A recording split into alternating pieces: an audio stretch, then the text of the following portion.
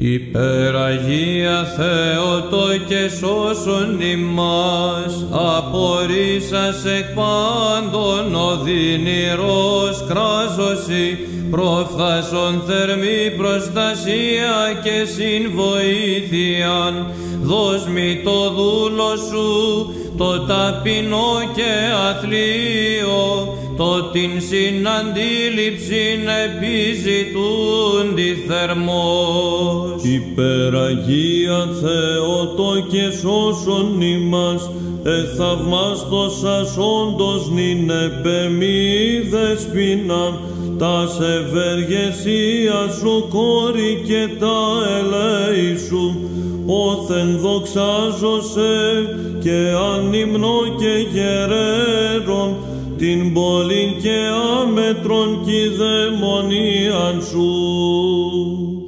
Δόξα Πατρί και Υιό και Αγίο Πνεύματι, καταιγείς με χυμάζει των συμφορών δεσπίνα και των λυπηρών τρικυμίε καταποντίζουσιν, αλλά προφθάσασα χειραμιδός βοηθείας, η θερμή αντίληψης και προστασία μου. Και νυν και αη και εις τους αιώνας των αιώνων να μην αληθή Θεοτόκον ομολογώ δεσπίνα σε την του θανάτου το κράτος εξαφανίσασαν ως γαρφισίζος εκ των δεσμών του άδου προς ζωήν ανοίγαγες εις γην μερεύσαντα.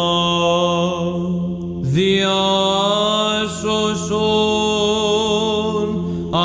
κινδύνων τους δούλους σου Θεοτόκε, ότι πάντες τα Θεόνισε καταφεύγομεν, ως άρρηκτον τείχος και προστασίαν. Επίβλεψον εν ευμενία πανύμνητε Θεοτόκε επί την εμήν χαλέπιν του σώματος κάκωσιν και ίασε της ψυχής μου το άλγο.